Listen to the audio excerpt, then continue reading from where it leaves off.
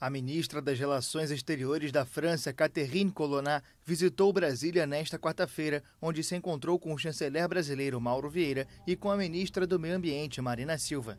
Colonna vai ser recebida à tarde pelo presidente Lula, cujo retorno ao poder em janeiro criou condições para que Paris e Brasília retomem relações de confiança depois das crises durante o mandato do ex-presidente Jair Bolsonaro. A visita antecipa a do presidente francês Emmanuel Macron, que ainda não tem data definida para acontecer.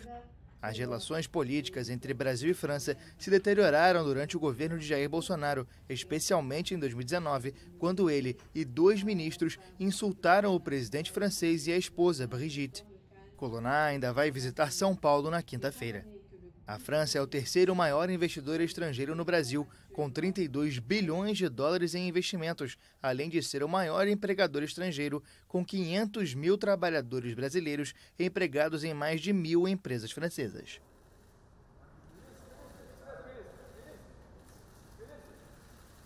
Cumprimento, por favor.